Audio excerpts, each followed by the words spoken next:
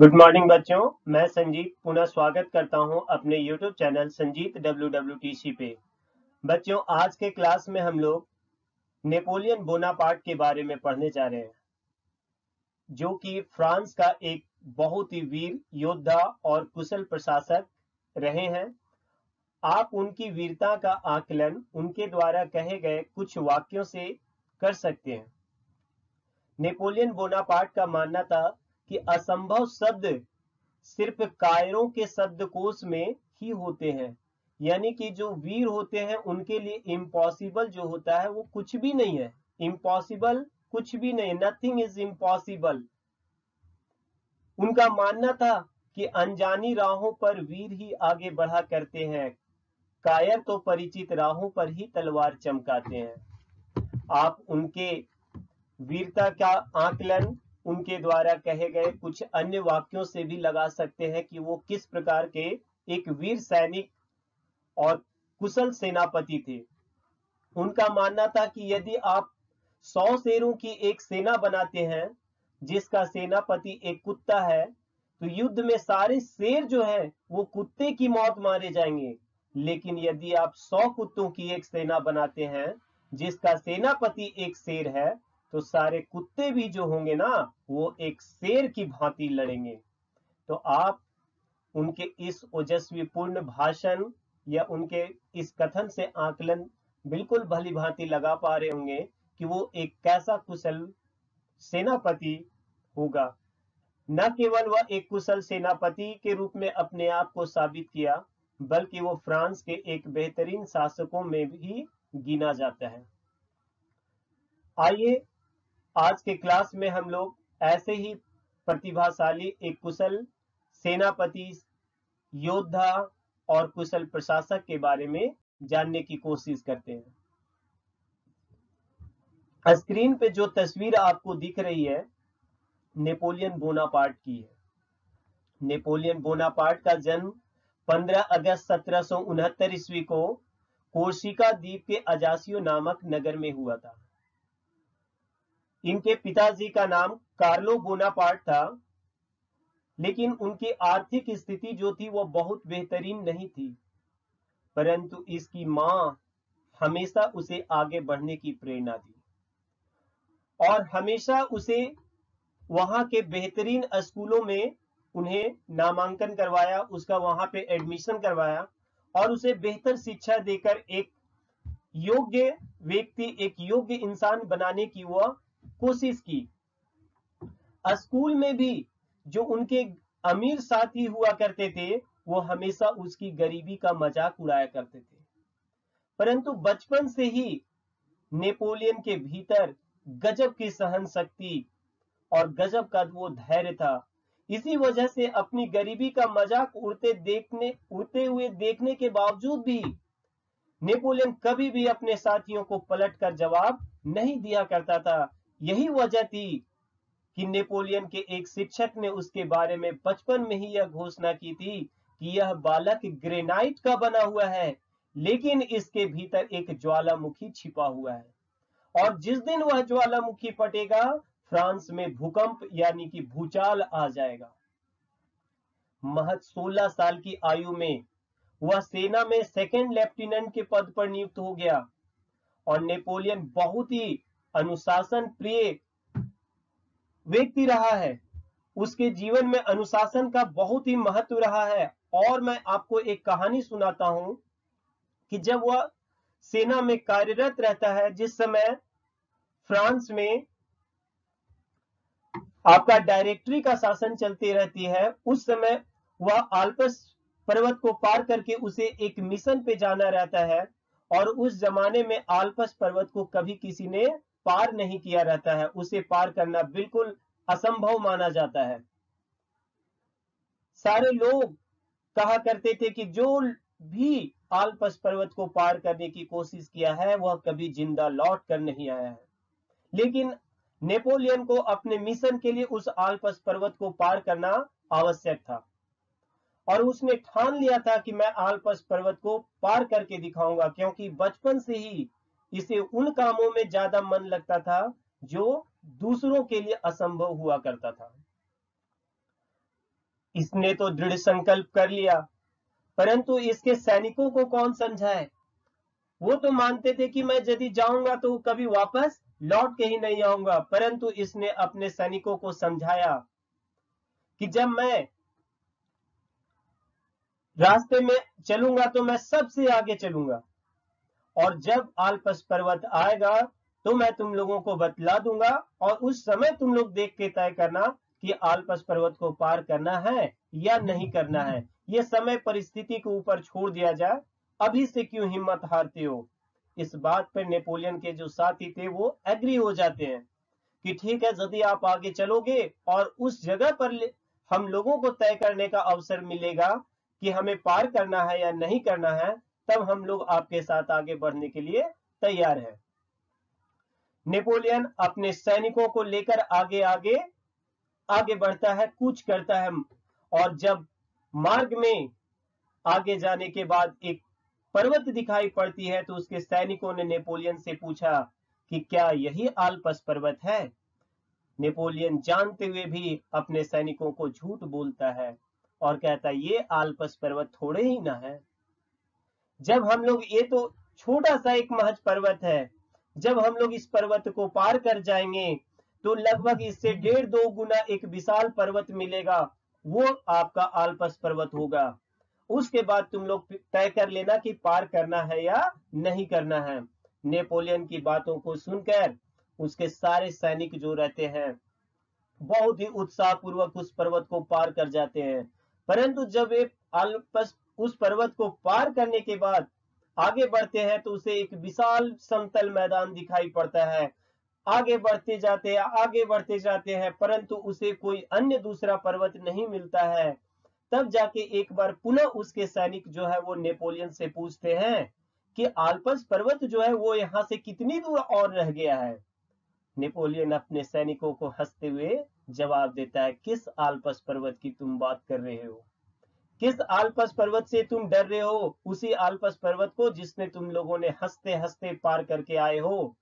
इस बात को सुन के उसके सैनिक जो थे वो दंग रह गए और उनमें ऊर्जा का एक नया संचार हो जाती है और वे जी जान से उस मिशन में लग जाते हैं। तो आप समझ सकते हो इस कहानी से कि ने, नेपोलियन के लिए किस प्रकार से वीरता मायने रखती है किस प्रकार उसमें गजब का वो प्रतिभा थी कि अपने मरणासन सैनिकों में भी वो जान फूक सकता था। किस प्रकार से हर एक असंभव कार्य को भी वह संभव कर सकता था। तो आइए अब स्लाइड के माध्यम से ही और आगे लेके मैं चलता हूँ। बीच बीच में मैं इसी तरह से आपको और भी कहानियाँ सुनाऊँगा नेपोलियन के बारे में। सत्रह सो नवासी ईस्वी में कोशिका द्वीप जो था, वो फ्रांस के विरुद्ध जो है, वो विद्रोह कर देता है।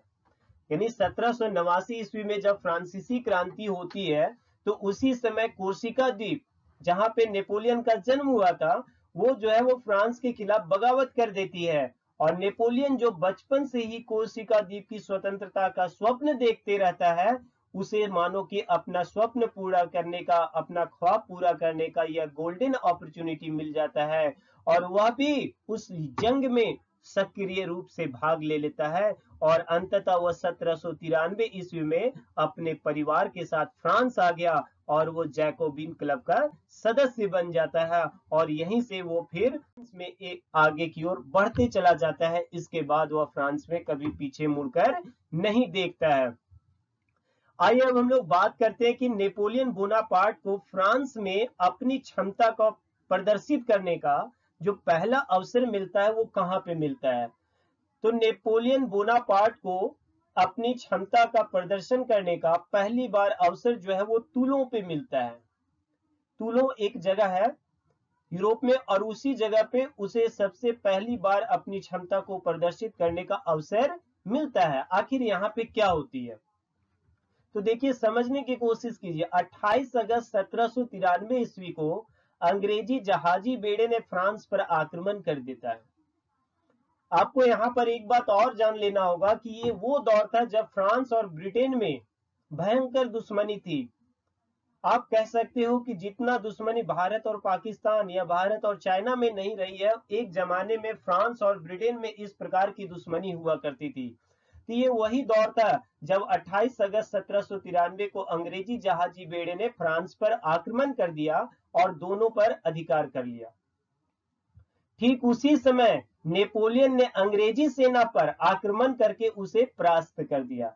मतलब जिस समय फ्रांस संकट में रहता है, उसी समय फ्रांस को संकट से मुक्त करने का जो बीड़ा उठाता है, वो कौन? नेपोलियन बोनापार्ट उठाता है। और इसी कारनामे की वजह से नेपोलियन के नाम का जो डंका रहता है, वो पूरे फ्रांस में बज जाता है और उसे ब्रिगेडियर जनरल का पद प्रदान किया जाता है। तो इस प्रकार से उसने पहली बार नेपोलियन में अपने नाम का परचम लहराता है और दूसरी बार उसे अपनी क्षमता का प्रदर्शन करने का मौका जो है वो 5 अक्टूबर सत्रह सौ पंचानवे ईस्वी को मिलता है। ये वो वक्त है जब फ्रांस में डायरेक्टरी की शासन व्यवस्था चलती है, पाँच लोगों की डायरेक्टरी रहती है और उन लोगों के द्वारा जो है वो वहाँ पे शासन चलाया जाता है। तो देखिए वहाँ पे क्या होती है। सत्रह ईस्वी को प्रजातंत्रवादियों ने राजतंत्रवादियों व संविधान से असंतुष्ट होकर पेरिस की भीड़ को संगठित करती है और नेशनल असेंबली के विरुद्ध जो है वो बगावत कर देती है। यानी 5 अक्टूबर सत्रह ईस्वी को जो प्रजातंत्रवादी जो रहते हैं, उन लोग जो है वो पेरिस में एकत्रित हो जाती है और नेशनल असेंबली के खिलाफ वे लोग जो है वो बगावत करने के लिए शुरू कर देते हैं। लेकिन उस वक्त नेशनल असेंबली की सुरक्षा की जो जिम्मेवारी रहती है, वो नेपोलियन बोनापार्ट के हाथों में रहती है। और आपको पता होगा, मैं कई बार अभी बतला चुका हूँ कि नेपोलियन उस हर वो एक काम करने में सक्षम था, जिसे इम्पॉसिबल माना जाता है। काफ़ी क्राउड रहती है, उतने बड़े भीड़ को तितर बितर करना, उतने बड़े भीड़ को वहाँ से हटाना, उन विद्रोहियों को शांत करना डायरेक्टरी सरकार के लिए भी असंभव था। उनके लिए भी एक बहुत बड़ी चुनौती थी। परंतु नेपोलियन जो है, इस चुनौती को भी वो स्वीकार करता है और 40 तोपों से भीषण गोलाबारी करके दो घंटे के अंदर, महज दो घंटे के भीतर ही सारे विद्रोहियों को वहाँ से मार भगाता है। लगभग 400 विद्रोही जो रहते हैं, वो इस गोलाबारी में मारे जाते हैं। हालाँकि 200 सैनिक जो है, वो नेपोलियन के भी मारे जाते हैं। परंतु नेपोलियन ने विद्रोहियों को दमन करके फ्रांस को जो गृह युद्ध की स्थिति के द्वार पे पहुँच चुका था, उस समय फ्रांस को उसने गृह युद्ध की स्थिति से बचा लेता है। और इसी वजह से एक बार पुनः नेपोलियन को एक टाइटल दी जाती है डिफेंडर ऑफ़ द डेमोक्रेसी यानी कि पहली बार जब उसने तूलों पर अपना प्रदर्शन करता है तो उसे टाइटल मिलती है ब्रिगेडियर जनरल का और इस बार उसने जब विद्रोहियों का दमन किया तो उसे उपाधि दी जाती है डिफेंडर ऑफ़ द डेमोक्रेसी का। तो इस प्रकार उसके तो बहुत सारे अभियान है। मैं कितने अभियान बात करूँ, है ना? तो बच्चों, मैं कुछ गिने चुने अच्छा अच्छा चलो मैं एक और कहानी सुनाता हूँ।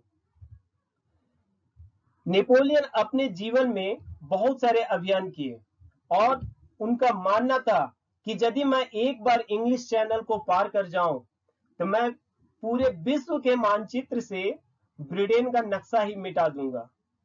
और उसने भारत पर भी आक्रमण करने का प्रयास किया था, क्योंकि भारत में मैसूर के जो शासक थे, टीपू सुल्तान, उससे उनकी मित्रता थी और उनके सहयोग से भी, सहयोग से उनका प्लानिंग था नेपोलियन बोनापार्ट का, कि वह भारत पर भी आक्रमण करेगा और उन अंग्रेज़ों को यहाँ से मार भगाएगा, क्योंकि फ्रांस के लिए उस समय का सबसे बड़ा शत्रु जो था, वो कौन? ब्रिटेन था, और ब्रिटेन का वो पतन करने के लिए मानो की कसम खा के बैठा था।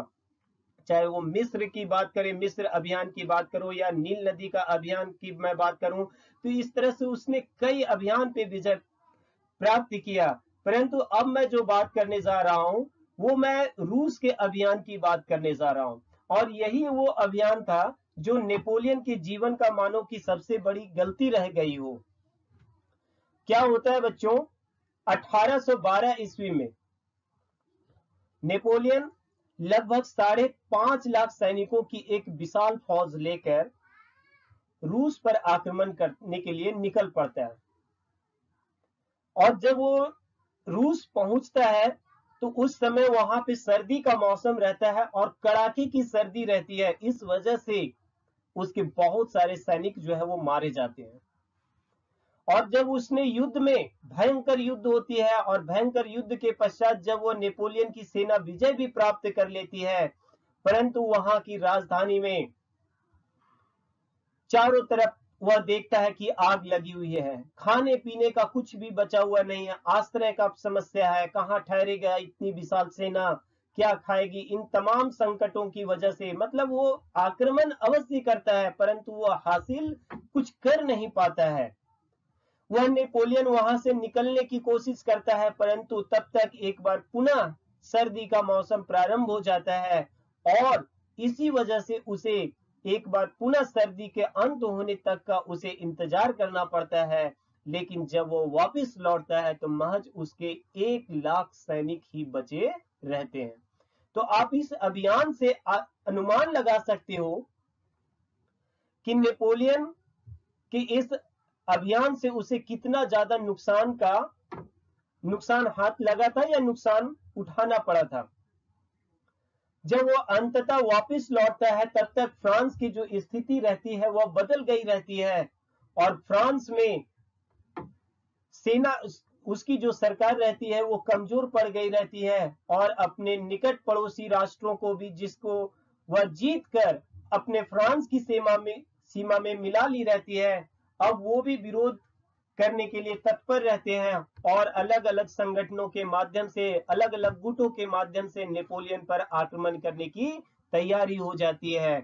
और ठीक बिल्कुल ऐसा ही 18 जून 1815 ईस्वी को वाटरलू का युद्ध होता है और इसी वाटरलू के युद्ध में नेपोलियन को पराजित कर दी जाती है। और नेपोलियन भी इस बात को जानता था कि यह मेरा आखिरी युद्ध है, परंतु वह इस बात को जानने के बाद भी वह तय किया था कि मैं भले ही इस युद्ध को हार जाऊँगा, लेकिन मैं जीते जी कभी भी हार को स्वीकार नहीं करूँगा। और अंततः पराजित होने के पश्चात उसे सेंट हेलेना द्वीप में कैद कर ली जाती है, जहाँ 5 मई 1821 ईस्वी को उसकी मृत्यु हो जाती है।